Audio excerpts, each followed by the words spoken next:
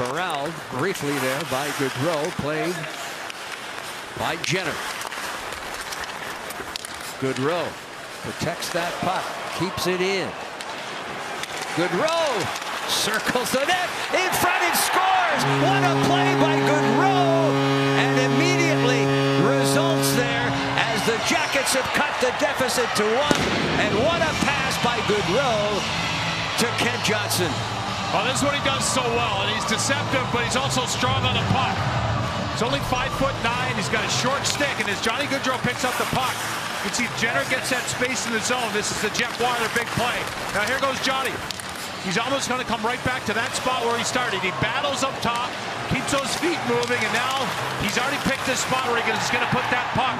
It's a very narrow passing lane on the other side of the net. He finds it, slides it out to Kent Johnson, right along that that net, and there's Johnson. He could do nothing but watch.